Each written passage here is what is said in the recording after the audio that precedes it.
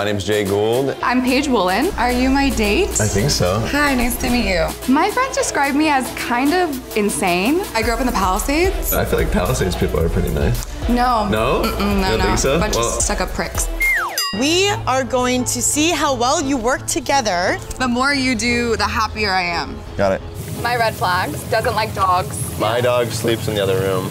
All right, you guys, it is time for the big reveal. In three, two, one, reveal.